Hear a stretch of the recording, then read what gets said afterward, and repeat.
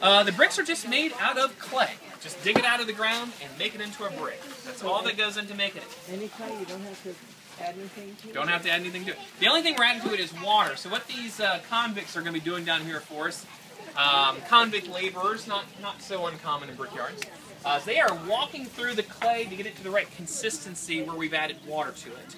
And that's it. That's all that goes into the brick. Up on the table, Tom's coating it with some dry sand, but that's simply to keep it from sticking to the mold that we're using here. And the inside of the mold is also usually dusted with some with some dry sand as well. From here, he'll carry the bricks out to dry in the sun. A couple of days from now, those bricks will be pretty well dried out. We'll go ahead and move them into the big shed in the back where they continue to dry, but you don't have to worry about rain anymore. But then eventually everything will get fired in a, in a kiln sort of in uh, kiln sort of thing. Uh, we'll go ahead and warp and shrink and crack because they're so hard and brittle. On the other end, if the clay is very lean or very thin, it has a lot of sand in it, naturally. And will be a very easy clay to make into a brick, but you'll never be able to make really a good hard brick out of it because you'll never be able to fire it hard. But most clays are in that in between, whose labor or whose job is to make sure there is always clay on the table to make into a brick. So they would be working the clay with their feet, getting the consistency. They would be pulling clay up on the table and then bringing more clay and More you smush Can it, I wash off? Then can I come the more you smush it, the better you're doing the job you're supposed to do. The work that Tom does is also going to be done by a slave most Try to jump. One person standing It's hard to jump. sort of architectural change. You know, using glazed bricks decoratively, sort of an early building, not decoratively, kind of a later building. Uh, I noticed on the fences, Mhm. uh, brick fences, Mhm. that there's a curved brick on the top. Do you have a form that Yeah. does those? That's that's the, the mold right here for making those what are called coping bricks, those half rounds. And the reason you use a half round brick on top of something like a brick fence is so it sheds water. So you don't have a place, a flat surface where water would collect on top. It simply runs down the side of the wall. So that would be this brick right there.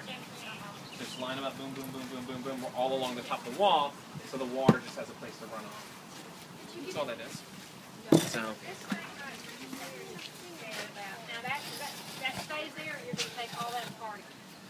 Normally, the whole kiln gets torn down. So you build it, you fire it, and then you tear it all down. Because more than likely, you're not going to be on this site next year making bricks again. You're going to be moved somewhere else. Brick making is, a global business. You can make bricks where you want bricks. You don't have to move them when they're all made. Um, so, yeah, brick kilns built, fired, and then the whole thing's taken down. We don't move our brick around. This is where they're going to fire the bricks. They build a structure made up of all these bricks, and then you see those those uh, those holes one, two, three, four. Those become tunnels, and they're going to burn a fire in there. The first day they keep it kind of um, not too hot. Um, oh, incidentally, you see they put mud all over the outside of this structure, and they crisscross these bricks. See how the, this one is lengthwise, and then these are crosswise. You can see there's different layers of them. Um, and there's the channel for the heat. They cook them for like four days.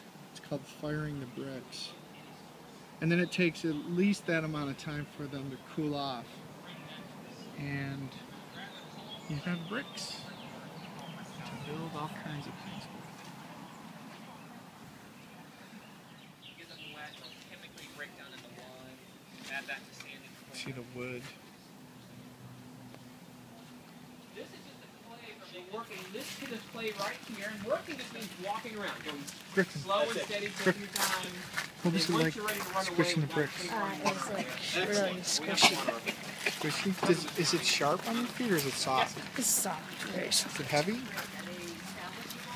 Yeah, it's hard to get my feet out and like. Yeah, everything's salvageable, salvageable to a point.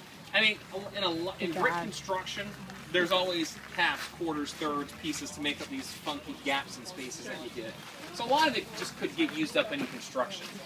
Um, with the better fired, the harder fired bricks, um, you can use them for paving. Uh, you'll see what's called brick bat paving. Brick bat just meaning broken bricks. Um, so for like a workspace or maybe a floor and a, in